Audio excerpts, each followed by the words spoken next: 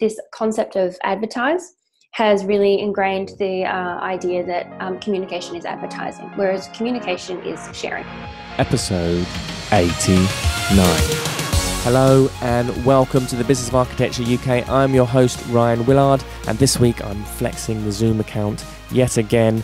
I'm adhering to all the lockdown measures and not leaving the home, but don't worry, this will not stop us from connecting and talking with some of the best industry thought leaders and architects about how best to be growing our businesses and making positive of what is happening in the world at the moment. And I had a really great conversation uh, last week with Celeste Bolte, who is a media specialist and design enthusiast. Originally, she's from Melbourne in Australia, but now she's based in London. She's been on the show before um, when she was talking about Bowerbird, and she's actually the UK head of Bowerbird, which is a platform that connects designers and journalists and architects in order to see more great design projects getting published. So in this conversation, I ask Celeste some questions about how should practices be communicating during this crisis? What are the important things to be remembering? What are the differences between a small and a large firm? The importance of why marketing right now is absolutely critical. And marketing isn't just sales, you know, communicating to our communities, stepping into leadership and expressing that is a very important thing to be doing right now. And also to be taking a step back and thinking about our ethos, our vision, what it is, what is the messaging that we want to be using out in the world, and crafting that precisely and carefully. So sit back, relax and enjoy Celeste Bolte.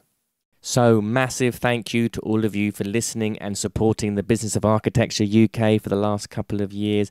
Big shout out to those of you who have come to our live events, attended the webinars, and of course to those of you who have downloaded the weekly podcast and have been listening to them on your bicycles. And as you know, we love helping architects win meaningful and profitable work, but it's not always that simple to implement these ideas or translate them into something that will work for you. So, what I wanted to do was to invite you onto a quick 15 minute chat with myself. We can both grab a cup of tea, and I'd like to ask you about what content you found most valuable and why, and what you'd like to hear more of.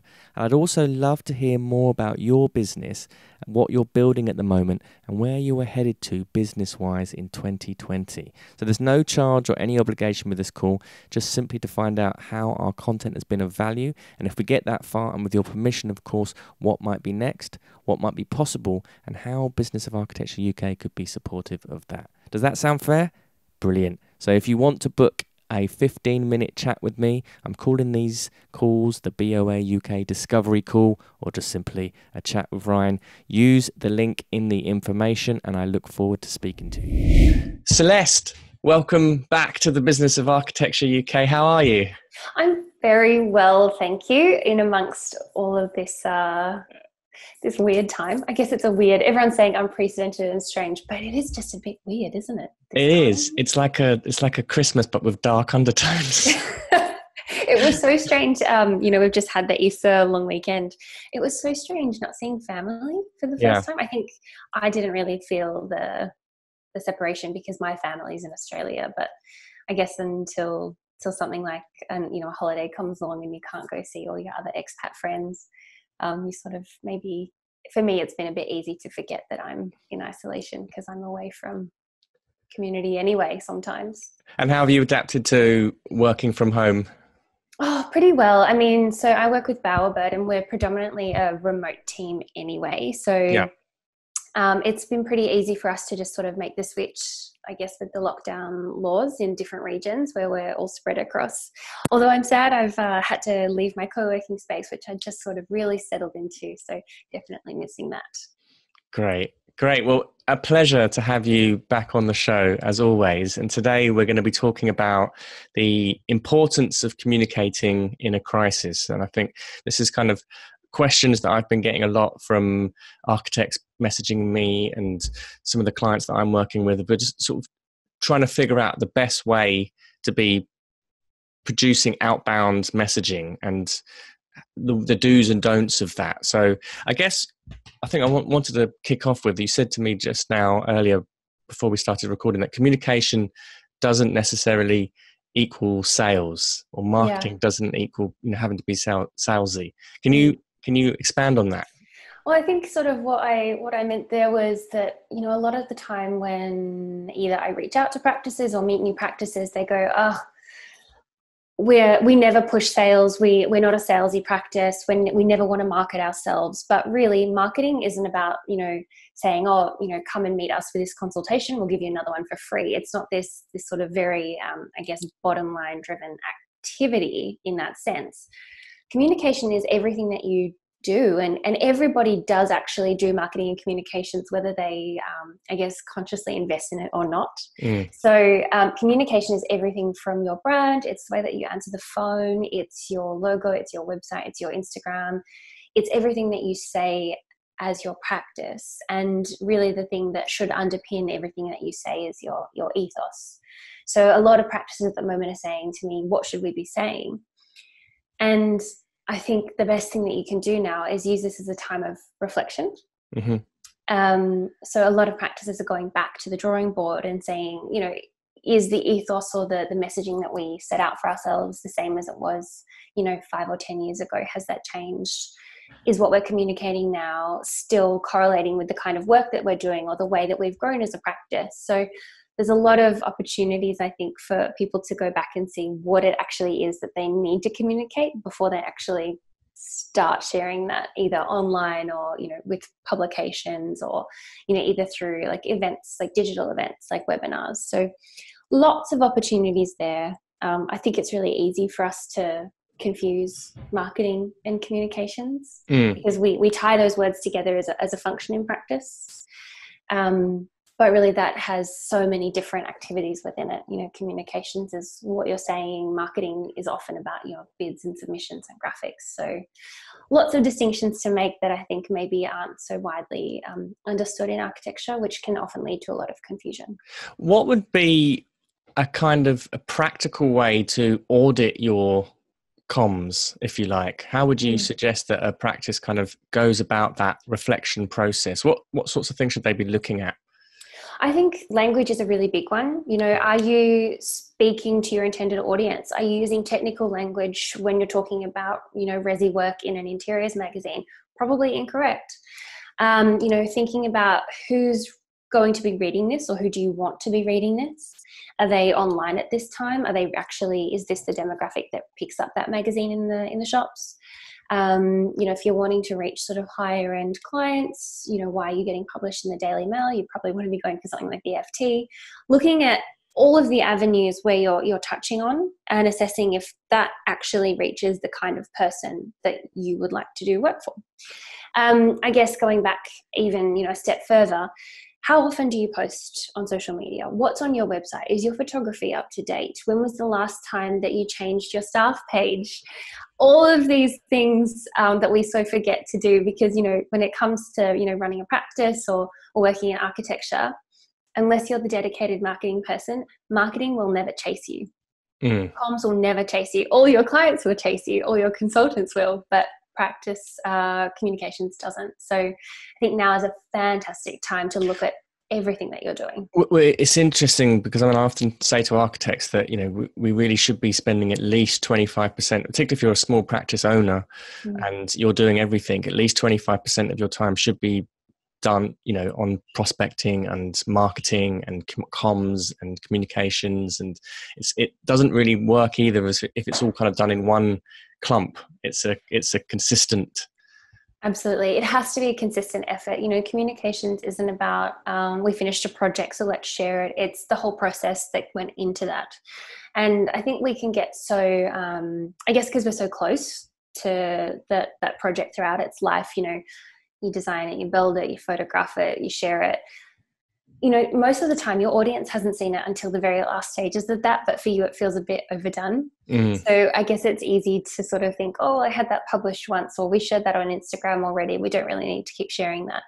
but there's so much life that your projects can have after they're finished or even throughout their, their process so looking at how much you're actually sharing of process is another another thing to sort of analyze because we have so many opportunities to publish our own work now. You know we've got social media and our websites and, and different channels and, and video is particularly uh, interesting too. Um, so I think that you know this ability to sort of bring people into to architecture and bring them closer to your projects as well is something that a lot of practices could really capitalize on. Well, that's an interesting one. Is this the storytelling behind the process is often for me as an architect that's always the most interesting thing that I want to hear about an architect's journey or, or their story. But yet we rarely indulge in that yeah. in sharing that. And actually, for clients, it can be very useful and very powerful. I think what it does as well is it demystifies the process. You know, yeah. I, I, speak to a lot of people who go, "Oh, I could never really, um, yeah, I probably wouldn't engage an architect. You know, I don't have that much money." But really, it's that's an, an immediate misconception is that architecture is expensive. Well, no, it actually saves you a lot of money in the long term. Um, you know, recently advised a friend on engaging an architect and sort of told him the benefits of of how that would work and what that would do for his his budget overall. And he was quite impressed. Um, and subsequently, good work, love it. yeah, pushing the profession forward. Love um, it. So yeah, sharing process is about demystifying how architecture actually works. And we hear a lot of, um, you know, a lot of resi practices sort of say, oh, you know, working with that client was a headache or that was really difficult. And I think that also comes down to a lot of people don't yet know what the process is and it's really important for practices to share that so that you know their clients are better educated when they come to them. They know what that process is going to be to work with them. They understand the expectations on their behalf as well because really it's a it's a partnership. Everyone's got to put the work in to get that project built. Um yeah i think i've probably gone off topic so, here but no that's that's great. I, i'm going to go back a little bit as well because you talked about ethos mm. and uh, for now's a good time for companies to kind of reassess what their ethos is. How how do you make the bridge between because sometimes a, a, practice might have an ethos that is very architecturally driven or it's very design orientated or it's there are certain strong architectural agendas maybe sustainability mm-hmm. maybe it's community um, maybe it's a, a particular form of design that's of interest, which kind of builds up part of a practice's ethos. How do you build the bridge between that and say what a client's problems are? So a client might have a very different idea. Maybe a client's not necessarily interested in sustainability or they don't realize the importance of sustainability.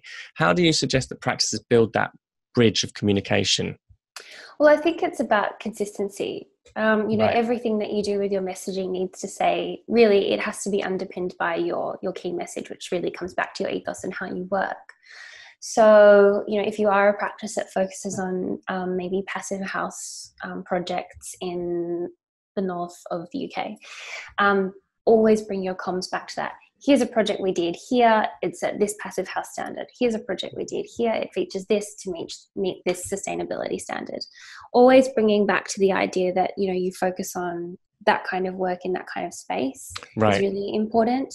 And i think clients begin to sort of engage with practices that meet their own ethos. You know we look as people we look for for what we recognize. You know we look for the familiar element. So I think a lot of um, you know a lot of sort of higher end studios have higher end clients because there's maybe that sort of element of glitz or glamour or um, yeah i think a lot of us look for what we can connect with because then there's an inherent understanding that there's a shared sort of commonality and that makes the whole process easier. I think that's what gets people in the door really right. is when they can see the the human element behind a practice or behind a project and the way that that project was achieved it allows them to sort of you know get to your website call you up you know say we've got this project going on.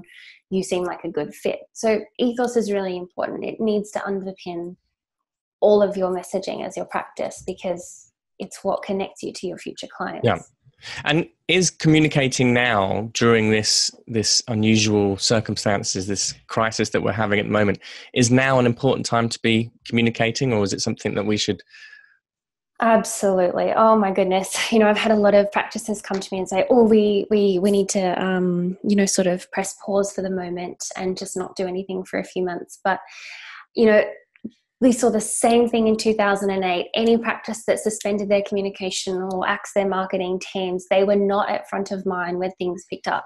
Mm. And as you're doing research for your own, you know, business for the next, you know, six to 12 to, you know, however many months, um, future clients are doing the same thing. They're just planning. They're just holding back and going, who do I really want to work with? What's this project timeline going to look like? The clients are still there. They might not just be pressing go. So you really want to be front of mind when things pick back up again. It is such an important time to communicate.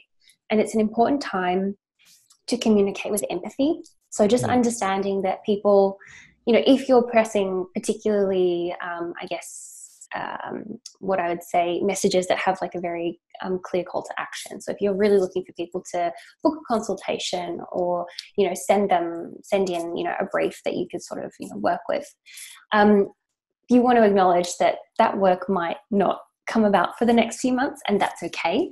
I think just being a person is really important. Um, but you know, on top of that, it's such an important time to share what you do and how you work because lots of people are at home. We're scrolling more, we're reading more, um, we're looking around, we're researching. We've got a bit more time to sort of engage with maybe areas that we haven't been before when we've been so busy commuting or with work or with kids or whatever. Um, so now is a really important time to communicate. And yeah, I think going back to what we sort of opened with, you know, communicating isn't always book a consultation, get one free. It's hi, this is how we work. This is who we are. This is what we like. That can mm. be just as valuable for getting people through the door in six months' time. Yeah. And you were saying earlier, now's you know one of the worst times to fire your comms teams. Oh my gosh, yes. I think for a big practice, this is such a knee-jerk reaction. You know, whenever um, we know whenever a practice is hit with hard times, the first expendable, um, I guess, function is always marketing and comms. And this comes down to a couple of things. Number one, comms is not valued nearly anywhere near as highly enough as it should be within architecture. It just yeah. isn't. Like, and I think this also comes from you know the historical relationship that architecture and communications has had. You know, up until the eighties, architects couldn't advertise their services, and this concept of advertise has really ingrained the uh, idea that um, communication is advertising, whereas communication is sharing. So whenever we hit um, you know hard times or there's a financial pinch a larger practice goes what overheads can we cut? Comms is always first. But that team that manager whatever the size of that function is is so integral in getting you through the tight time mm-hmm. you need to constantly be communicating you know it's like I think Dave Sharp actually sort of, you know, mentioned this idea to me and I've just held on to it ever since. And it was, um, you know, communications is like going to the gym. You can't do yo yo marketing. It's like yo yo dieting. It will just not work. You need to be consistent. And your comms team are smart professionals. They're extremely strategic and they know how to get you through this time. You know that's it's their job and they're really really good at it. But a lot of practices sort of um, go well what can we what can we remove first? You know there's a however much um, you know in uh, money and uh, um, salaries for for a communications manager but really that is your person. That's your that's your um, your life float i guess. Yeah well, it's it's interesting that this is that is such a knee jerk reaction in architecture. I'm sure it's the same in lots of other businesses as well. Um, that marketing is often seen as a, a, you know an additional luxury to have, and actually, it's really not. It's it is so critical to the mm. engine of your business. It's like the fuel, um, and being able to to continually communicate and just deepen relationships with existing clients, potential new clients, and like you say, communicating with that radical empathy understanding where people are at right now mm. because there's a vast spectrum of you know what people are dealing with from quite extreme things of loss of family to uh, on the other end of things maybe some people are really enjoying the lockdown yeah. so it, it's just understanding where people are at and communicating in a in a sensitive but consistent manner and as you say your your comms team are the masters in this Yeah, absolutely. I mean, comms teams need to be trusted more, I think. They are often, you know, marketing and communications is a whole profession on its own. It's not just this, um, what is often classed as business support function within a practice. You know, it's mm. not just, you know, you can't just get the grad to run the Instagram, really all of all of um, you know marketing and comms, everything from your website, your social media, your press, your events, any of your thought leadership um, your branding, any graphics bids, submissions. There is so much that goes into communications. And these specialisms have actually evolved as architecture has changed. You know, there are more architectural typologies. Um, you know, we're seeing a lot more specialisms, so therefore there are way more stories to be told. And there are professionals that can tell these stories really, really effectively. Mm. Um, you know, first and foremost, architects are designers. You're not you're not marketing professionals, and you need that help. Just as you know, you you buy software for your your architect um, team to sort of you know work in CAD or Rhino or whatever. You need to you know support your um, comms team and your staff with the same trust and validation and tools that they need to do their job. So it's a really important time for studios to just double down on press, and that can feel or double down on communication. Sorry, and that can feel really hard, but it is so valuable coming out the other side because you are the first practice whose phone will ring when things pick up. What sorts of comms, like specific things, do you think are good ideas for practices to be engaging with now? And is and is press something that is still around? Can we still Absolutely. be doing that? Yep, press is still going. Um, a lot of magazines will be suffering uh, from loss of ad revenue as suppliers pull advertising budgets. So it's definitely worth being conscious that there's a bit more competition to get into magazines at the moment. Page space is tricky. But um, comms doesn't really work when you only pull on one string at a time. So you need to be pulling on multiple strings. You need to have your marketing mix organized. So your marketing mix is typically made up of the different activities that you do at any one time to create multiple touch points to bring these people back to you. So those um, what's typically in a practices mix might be social media, it might be um, awards, um, thought leadership, and um, maybe let's say events. So events, that's when you're physically in the room shaking hands. Your awards are what's being run. Oh, sorry, and press, of course, and press. Um, you need press to support all of the messaging that you publish yourself. So I've seen a couple of practices recently have really upped all of their social media activity, but their engagement hasn't changed because they've dropped press. So, what that's doing is that is completely limiting their ability to reach new audiences, to reach new people, to capitalize on being published in new, uh, I guess, um, spaces, on having people driven back to them.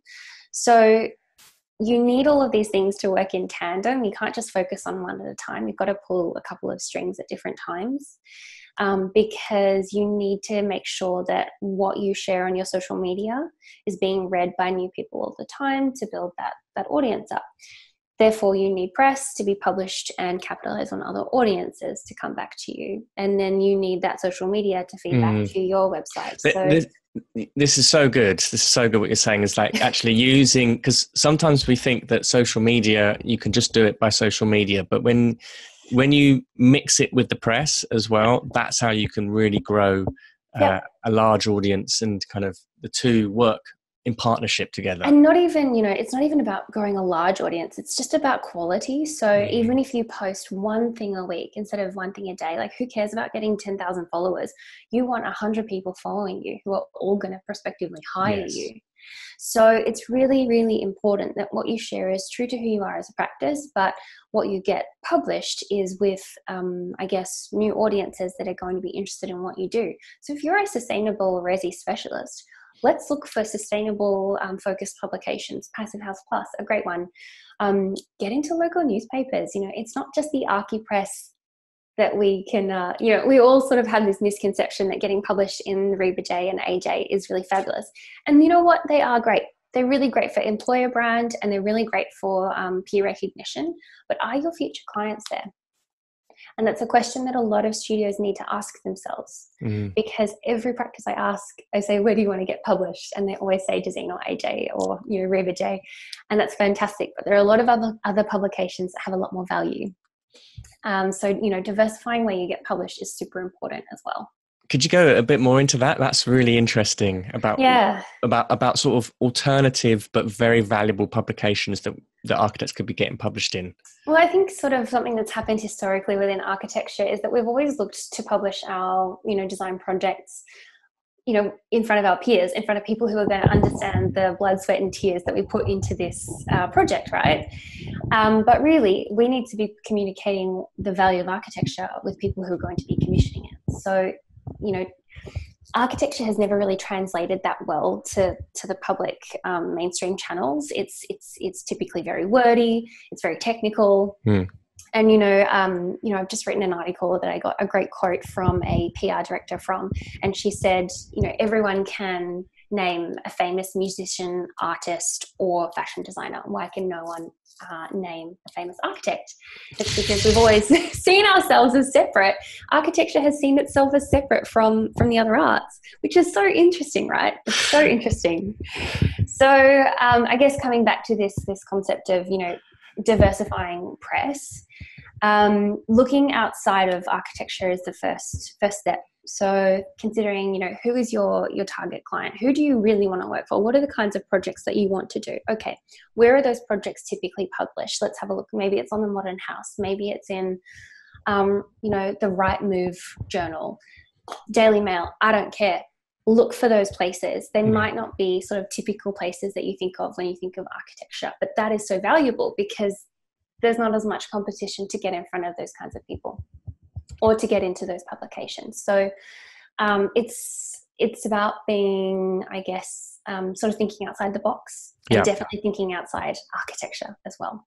Brilliant.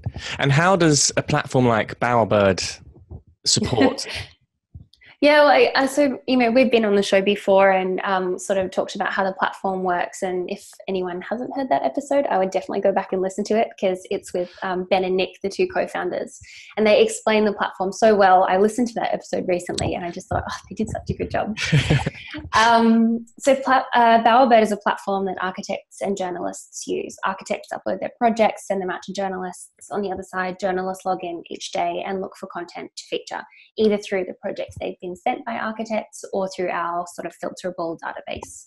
So for us, it's about, um, you know, Ben and Nick really wanted to set up the platform to allow practices of all scale to get published. Um, typically, publishing has been confined or restricted to uh, large practices with big budgets. Um, really, and that only comes down to um, you know smaller studios don't have maybe the resources to hire a PR consultant or mm. agency but they don't also have the time to do it themselves. So Bowerbird fills that gap. Um, so it's software as a service that you can use to get published. Um, I guess on the other side of that, our mission is to see more architecture published more broadly. So coming back to this idea of diversifying where architecture is published, for us, it's not just about getting you into Dezeen or AJ. It's about going a bit further. You know, regional newspapers, um, TV channels, podcasts, radio shows. Um, we have a really interesting um, uh, I guess it's a YouTube series, Never Too Small. They feature tiny houses or tiny spaces. So, yeah, getting more architecture out to more people is what we're trying to do. So, we um, work with lots of architects across lots of different sizes. Brilliant. Love it. You said there as well that, you know, Bowerbird helps small and large practices. And that was one of the things I wanted to ask you about is is there a difference at the moment between how large and small practices should be communicating I mean, it's not necessarily about the difference in. I mean, I think there is a difference in size for for larger studios. They almost need to reassure their clients. I think the stakes can be a little higher depending on what budgets are in the or projects are in the pipeline. Yeah. Um, I've seen a lot of bigger studios putting up messaging like we're still here, we're still working, we're at home, but we're still at the same capacity. So I think a lot of reassurance there. But for smaller studios, actually it probably comes down to the same thing of we're still here um, I think big studios have an opportunity at the moment um, when a lot of their peers, unfortunately, will be, you know, reducing their marketing efforts and spend. That leaves a really clear path for savvy studios to get in there and get their work published and to, to actually do a good job um, in reaching the right clients and being quite strategic about that. Brilliant. Celeste, that's been absolutely fantastic. Thank you so much for your contribution this morning. My pleasure. Uh, my pleasure. Thank you. That's been really great. And that's a wrap. Thank you so much for listening. And don't forget to book your 15 minute chat with me by using the link in the information. I look forward to speaking with you. The views expressed on this show by my guests do not represent those of the host, and I make no representation, promise, guarantee, pledge, warranty, contract bond, or commitment except to help you be unstoppable.